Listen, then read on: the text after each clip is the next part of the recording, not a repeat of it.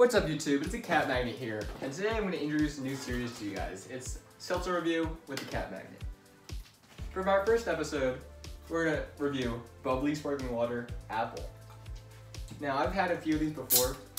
They're like a dollar more than LaCroix and uh, the Giant brand, but let's see if it's worth the taste.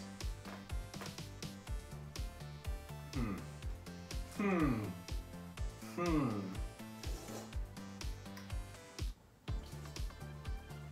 Okay.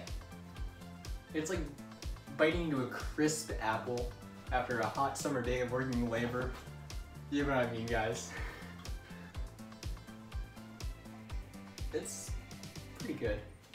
It's only apple I've tried because they have apple cranberry, the Croy brand, but the cranberry kind of like muffles the apple. But this, it's a full-fledged apple jack.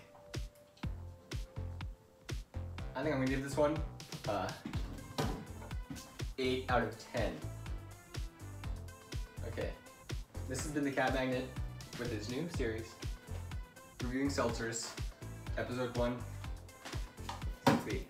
I hope you guys heed my advice and watch this